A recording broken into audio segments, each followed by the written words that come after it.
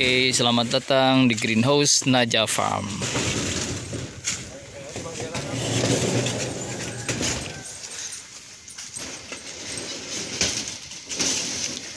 Ini yang beberapa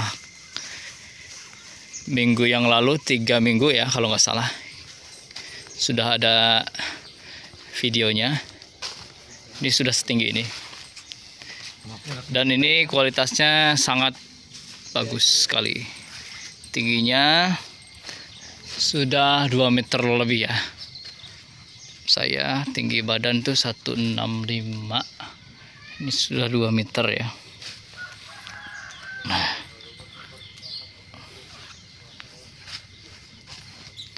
Oke. Kita akan tanya-tanya nih soal pupuk nanti. Setelah saya tanya nanti akan review. Ini pupuk dasarnya tadi saya saya dengar nih dari ahli bahwa ini menggunakan pupuk dasar juga uh, adalah kotoran hewan kemudian yang sudah matang tuh ada fosfatnya. Kenapa? Karena kan slow liris kalau nggak salah disebutnya fosfat. Nah, tadi Pak Ustadz Husni tadi udah mengatakan bahwa ini menggunakan AB mix ya, namun tidak full.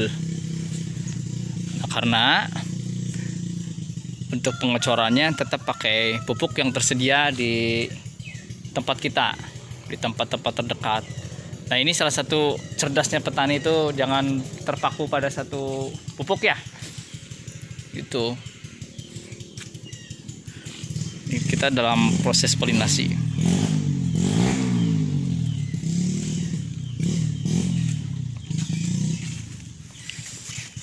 sudah berapa kali pemupukan ini Ustaz? pemupukan hampir sudah ke memasuk ke empat kali lima ini nanti ya. Wow.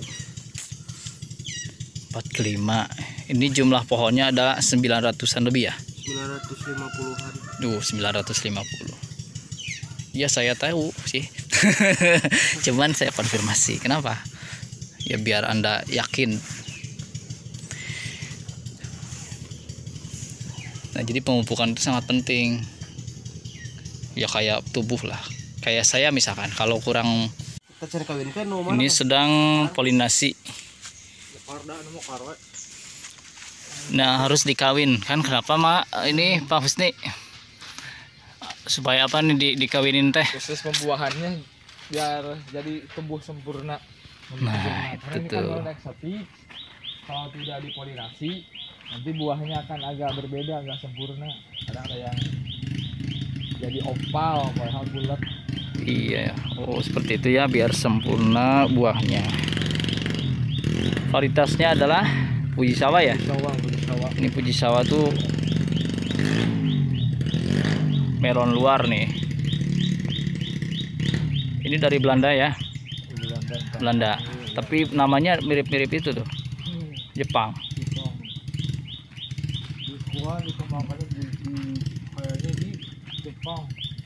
Nah ini di Jepang nih dipopulerkan di Jepang. Coba kita lihat tuh caranya. Dibuka dulu yang jantan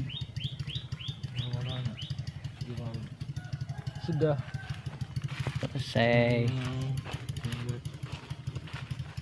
Nah. Nah nanti. Betina.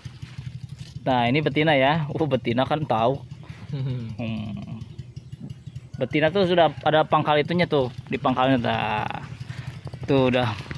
Gimana ya? Nah. ini betina tuh ada kayak rahim nih. Rahimnya udah terlihat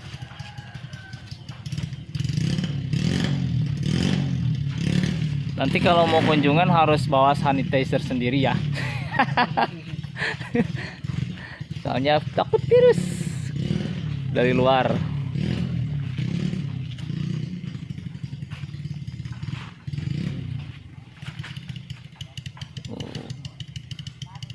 Nah di sininya kadang-kadang para petani itu suka lupa ya, ya Ustadz ya. ya. Saya pun waktu nanam butternut dulu tuh Baru- baru berapa baris udah kena virus tuh waktu itu. Jadi virus tuh bukan hanya ke manusia aja ternyata menyerang. Ke tumbuhan pun menyerang. Nih oke saya masih di greenhouse masih bersama Ustaz Gizji sekarang. Tadi tanya-tanya ke beliau nih. Ada varietas melon namanya Fujisawa Puji sawah. berapa pabrik itu Wah, itu semoga aja kalau di daerah panas pesisir gini mah bisa lebih manis, bisa 15 brick, 17 bricknya. wow 15 brick 17 jangan Harapannya. jangan kebanyakan ya Jangan nanti kebanyakan nanti seperti gulanya saya. keganti nanti sama. seperti saya jadi terlalu manis Wih.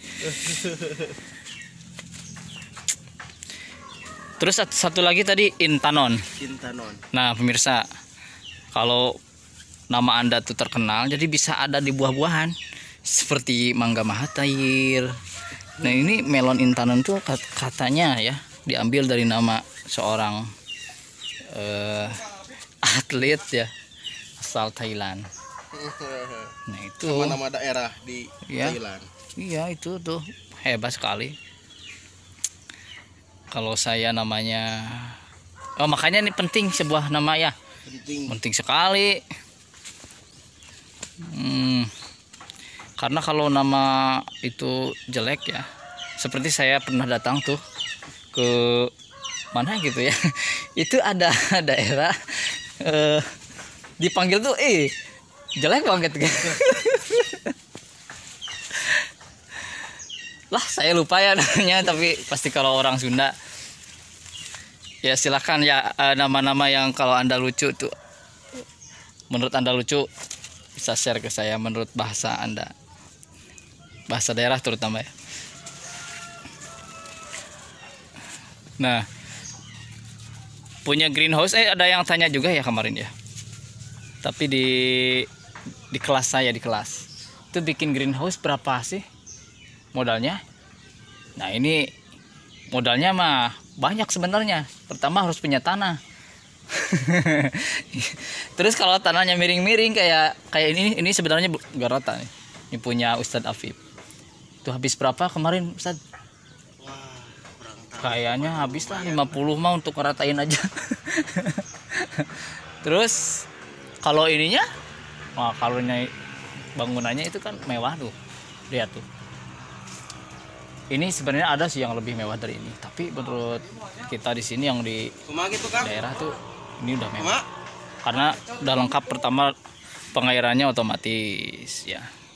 Wah, terang tah. Cobi. kemudian ininya juga kualitas terbaik nih UV-nya katanya dari sebuah negara yang nggak perlu disebutkan lah ya.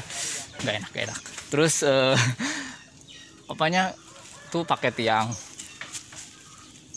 tiangnya besi galvanis ya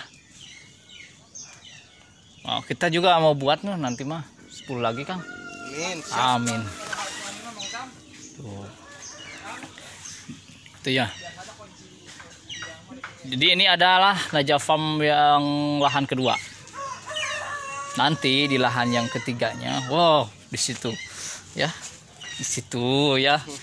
Hmm. Di situ ada apa sih? Wah, lihat aja nanti ya update terbaru dari Naja Farm. Oke, ini adalah gabungan dari eh, pesantren yang sudah lama ya itu juga pembimbing kita itu pesantren agribisnis ternama bernama Al Ittifaq. Nah kalau mau ke situ juga lengkap fasilitasnya mau belajar bertani berbisnis oh, di situ lengkap. Atau ke sini. Sini juga enggak ya karena dibimbing oleh yang terbaik itu Al Ittifaq sama di sini juga ada pembimbing dari Penas. Jadi sumber daya manusianya sangat handal. Ya silahkan kalau mau sharing-sharing ke sini. Mau belajar juga jangan ragu